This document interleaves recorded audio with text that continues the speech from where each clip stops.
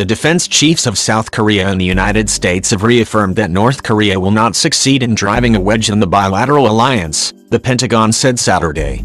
During a meeting in Hawaii Friday, South Korean Defense Minister Song Young-moo and U.S. Defense Secretary Jim Mattis addressed concerns that North Korea could be seeking to weaken the alliance through its recent talks with the South.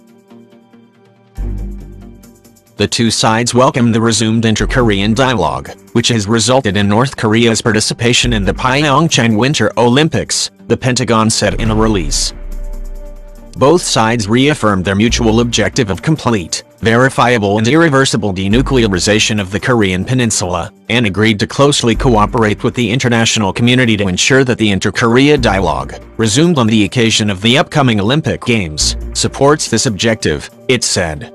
Moreover, they emphasized that any efforts to drive a wedge in the U.S. Republic of Korea alliance would fail.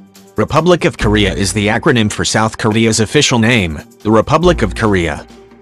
The Pentagon said the two sides also agreed to closely cooperate to ensure a safe and peaceful Olympics, and committed to maintaining a strong defense posture to back up diplomatic efforts to denuclearize the North. Secretary Mattis reaffirmed the United States' ironclad commitment to the Republic of Korea, including its strong extended deterrent commitment, and stressed that any North Korean attack on the United States, its territories or its allies will be met with an effective and overwhelming response, it said. They also committed to close, continued collaboration aimed at making the DPRK change its behavior and come to the negotiating table to discuss denuclearization. DPRK refers to the North's official name, the Democratic People's Republic of Korea. Song discussed South Korea's defense reforms, and both sides voiced their expectation those will help enhance alliance capabilities as well as preparations for the transfer of wartime operational control of South Korean troops from Washington to Seoul.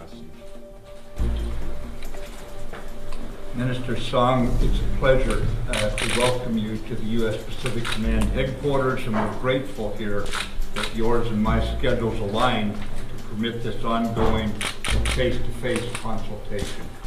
I'm returning from Indonesia and Vietnam, where America is strengthening valuable partnerships. And here today, you and I meet as members of an alliance, an ironclad and irreplaceable alliance. And ladies and gentlemen, the Minister of Defense of the Republic of Korea will always be welcome in our headquarters.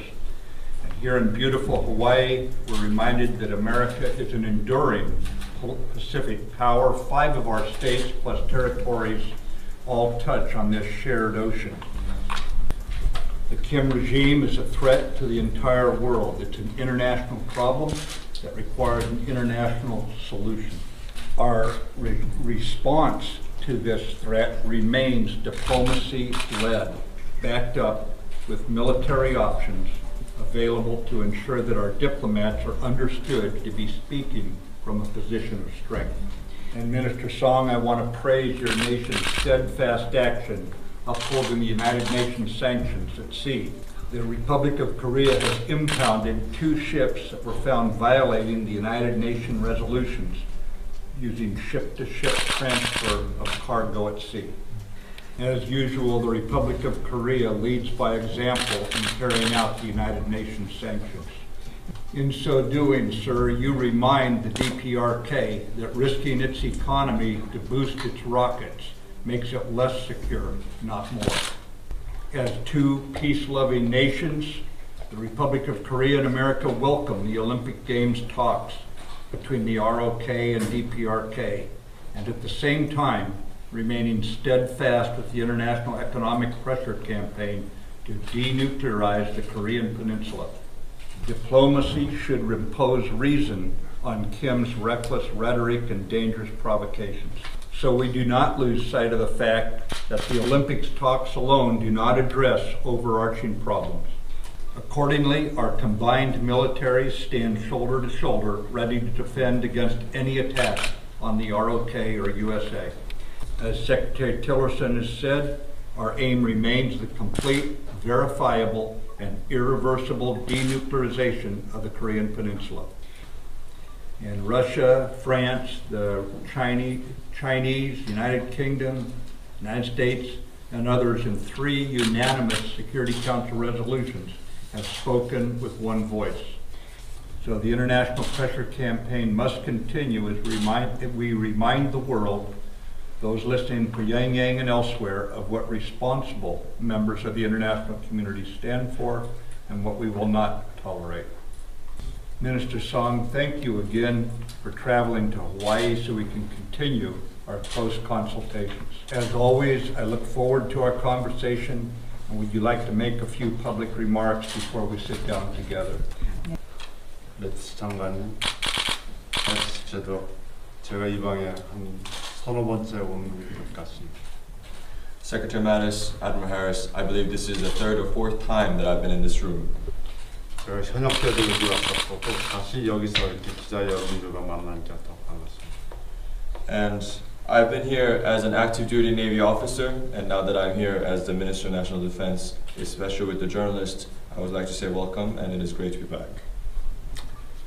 먼저 우리 매트스 장군님께서는 장관님께서는 동남아 순방 등 바쁜 일정에도 불구하고 이곳 하와이 태평양사에서 만나게 되기도 더욱더 반갑습니다. First, Secretary Mattis, I know he has a very busy schedule that has spanned the entire Southeast Asia recently, and despite his busy schedule, it is great to be able to see him at this uh, this place in Hawaii, the uh, Pacific Command. 어, 매트스 장관님과 본인은 평소 1년 365일 동안 상시 긴밀한 소통을 유지하면 물론 가급적 자주 만나는 기회를 갖자는 공감대를 갖고 있었습니다.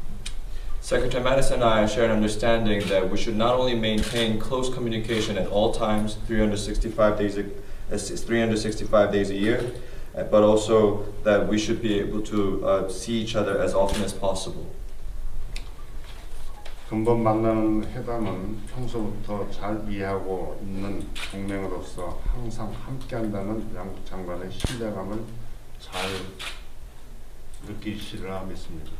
And I believe this conference uh, can speak to the shared confidence of myself and Secretary Mattis that we both understand each other well and that as an alliance we always go together. 어, 유엔 안보리 결의라든지 또 대북한 문제 같은 것 등에 대해서는 매티스 장관님께서 말씀하셨기 때문에 생각하지 않습니다. On the issues of UNSC resolutions and the North Korean problem, Secretary Mattis has already spoken at length, so I will not be mentioning much here. 우리 두 사람은 오늘 회담을 통해서 변함없이 한미 동맹의 굳건함과 한반도 비핵화를 위한 대북 공조를 확인하는 동시에 평창 올림픽의 안전하고 평화로운 개최를 위해서 양국 간 협력 방안에 대해서 논의할 예정입니다. Through this conference, Secretary Mattis and I will be discussing the firm ROC-US alliance, as well as uh, reaffirming the firm coordination between the ROC and US against North Korea in order to denuclearize the Korean Peninsula. At the same time, we will also be discussing some measures of cooperation between our two countries to ensure the safe and peaceful opening of the Pyeongchang Winter Olympics. 또한 우리 한국의 문재인 대통령께서 남북 대화와 미국 대화를 견인 남북 대화는 미국 대화를 견인하기 위한 대화라, 대화라고 말씀하신 데 대해 우리 매트시 장관과 같이 의견도 교환할 예정입니다. And Secretary Mattis and I will also be exchanging in, um, some our opinions on President Moon Jae-in's statement that the inter-Korea dialogue is a dialogue ultimately to draw out North Korea to a, co- a dialogue with the United States. 아울러 우리는 한미 연합 방위 태세를 한층 더 강화하기 위한 다양한 동맹 현안에 대해서도 협의하고 이번 회담이 동맹의 결속력을 더욱 강화시키는 계기가 될 것으로 확신합니다. Uh, furthermore, we will also be discussing some of the alliance issues in order to further strengthen the combined defense posture. And I, I, be- I believe and I am certain that this conference will be another opportunity for us to further consolidate and strengthen the alliance.